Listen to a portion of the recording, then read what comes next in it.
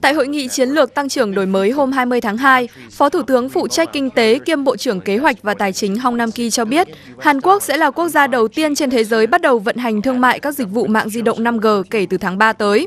Dự kiến, ba hãng viễn thông di động lớn của Hàn Quốc sẽ đầu tư 2,67 tỷ đô la Mỹ vào 5G trong năm nay. Thành quả từ hàng loạt các chính sách ưu đãi, hỗ trợ trong thời gian qua của chính phủ nước này nhằm đẩy nhanh tốc độ xây dựng nền tảng thương mại hóa mạng 5G.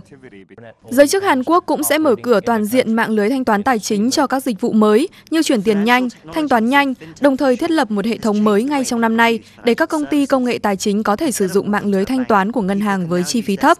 Trong lĩnh vực sản xuất, Seoul kỳ vọng việc áp dụng 5G và các công nghệ khác như tự động hóa, dữ liệu lớn vào trong hoạt động sản xuất sẽ góp phần nâng cao năng suất, cải thiện tình trạng trì trệ tại nhiều doanh nghiệp Hàn Quốc. Công nghệ 5G có thể mang lại sự linh hoạt trong việc sắp xếp các cơ sở sản xuất thông qua các tính năng không dây.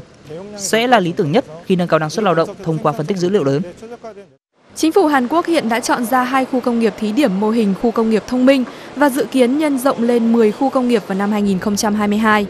Biện pháp này được kỳ vọng là sẽ đẩy mạnh sự cạnh tranh của các doanh nghiệp chế tạo và khôi phục sức sống cho nền kinh tế địa phương.